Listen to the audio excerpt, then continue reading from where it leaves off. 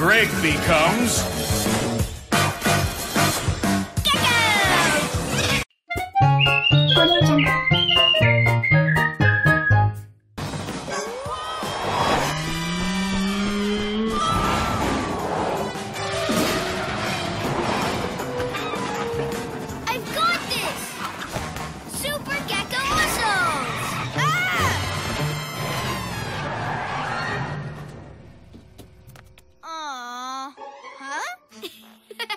See, Romeo?